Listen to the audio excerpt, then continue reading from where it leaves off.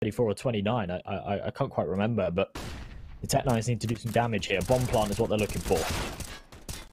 Yeah, right now, at least when Fatro is already finding one, Synopsy to find another. Those are weapons that they can collect, but of course, Anarkez betting on exactly that.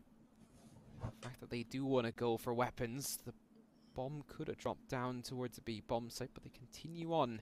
They can push the op. Anarkez is going to be forced back. The Tec-9s are on the hunt, but he Oh, can at least isolate them and hit both shots. So important. Great bit of work from Shocks already.